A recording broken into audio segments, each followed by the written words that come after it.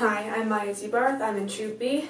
And my pitch for the Art Hub in Lafayette is we open on a young guy or girl um, getting ready to dance. And once they're ready and started to dance and do different tricks and moves, we start talking about the company, like, and also the, like specifically the dance program and the kind of things that you guys offer, as in studio and ballet, and the level you audition to get into, and how you can move up and to competition after a certain level, and also about how you can find all this on the website and how the company is a nice, amazing place where you can learn how to do different things.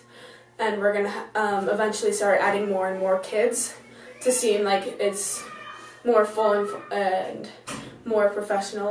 All right, um, that's my pitch. Hope you guys enjoy.